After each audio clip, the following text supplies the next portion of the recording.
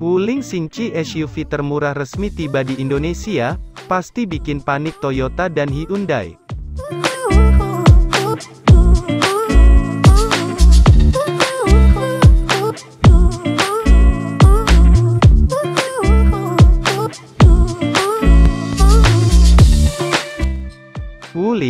SUV termurah dari pabrikan China telah hadir di Indonesia. Jika mobil ini adalah Wuling Xingqi, mobil ini memiliki gaya SUV dengan berbagai fitur canggih. Saya percaya rumor kehadiran Wuling Xingqi akan membuat Toyota dan Hyundai panik.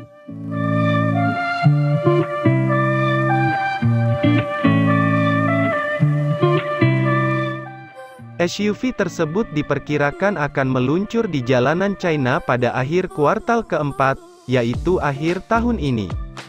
Xingqi dikatakan telah diindonesiakan dengan nama Arves, nama ini sudah terdaftar di database Kementerian Hukum dan HAM, apalagi beberapa waktu lalu mobil ini juga sempat kepergok saat tes di jalanan Indonesia. Sama seperti beberapa hari yang lalu, Beredar video tentang kehadiran mobil di trotoar yang sangat mirip dengan Wuling Xingqi di Indonesia. Mari kita lihat spesifikasi lengkap dan harga Wuling Xingqi.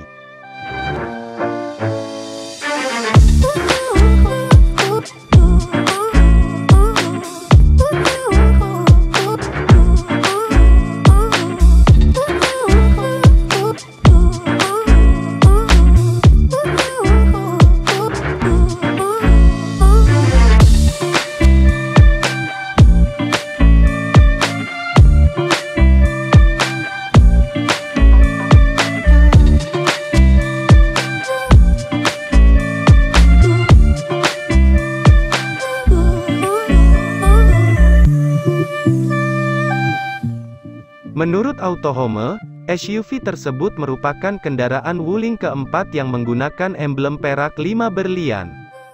Wuling menempatkan Xingqi di bawah Xingchen atau Wuling Asta untuk membidik segmen konsumen muda yang lebih tertarik pada SUV kompak. Xingqi muncul dalam bahasa desain Wuling terbaru, juga digunakan oleh Xingchen, Victory, dan Jiachen, Hal ini juga dapat dikonfirmasi dari panel instrumen dan pilar C dengan atap mengambang berwarna hitam.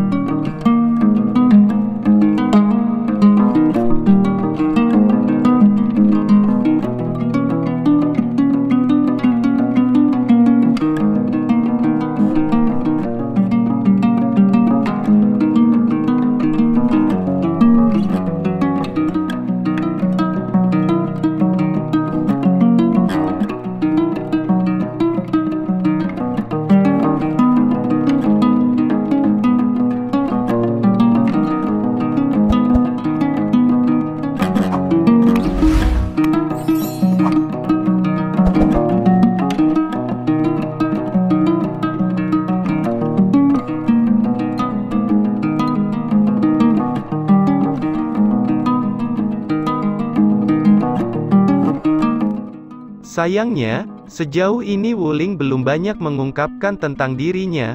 Desain kabinnya disebut-sebut mirip dengan model Jinchen, Victory, dan Jiachen. Wuling hanya menampilkan gambar tuas persneling AC digital yang dapat disesuaikan, rem parkir elektronik, dan jok semi bucket.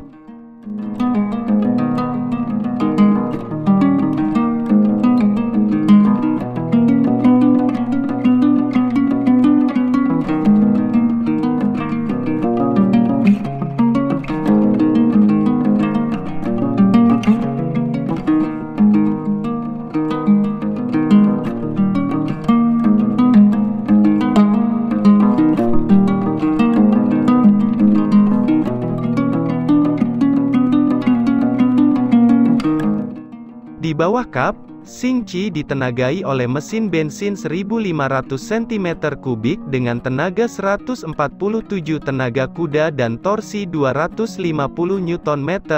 Tenaga mesin ini dipadukan dengan transmisi CVT dan transmisi manual 6 percepatan opsional.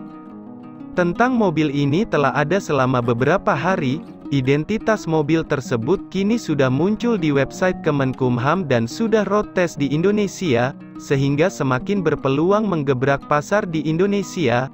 SUV kemudian akan menjadi saingan kuat Honda HR-V dan Hyundai Creta.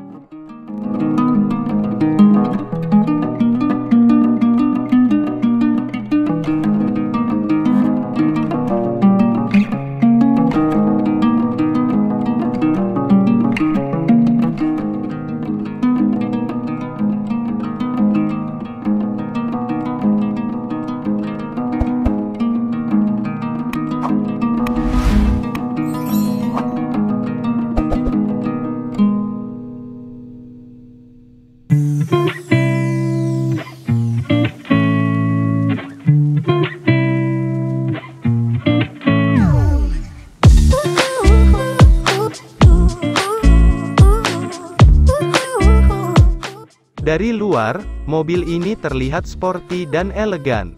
Dari depan, Wuling dilengkapi dengan grill lebar dan logo Wuling yang menghadap ke depan, serta lampu depan berbentuk persegi panjang dengan lampu DRL.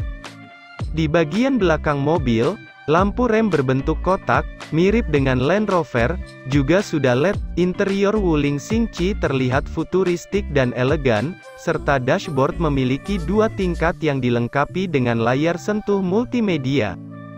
Memiliki tombol modern dan sunroof, roda kemudi dirancang dengan tiga palang, speedometer mobil ini dilengkapi dengan speedometer digital yang menampilkan beberapa fitur canggih,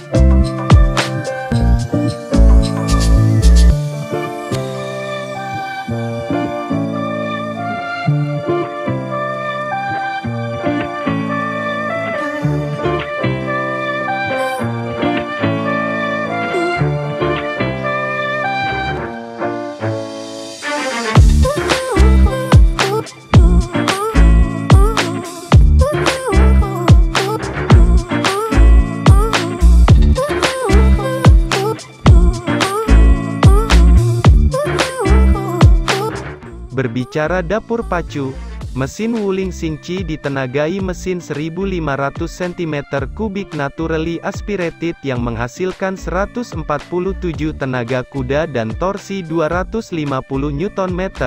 Sementara untuk harganya diperkirakan dibanderol dengan harga 229 jutaan.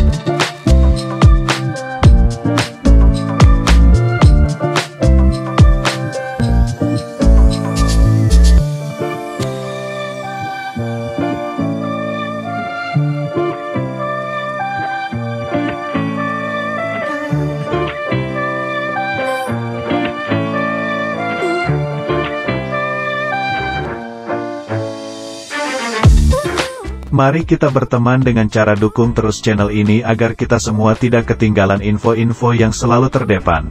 Dengan cara subscribe, share, like.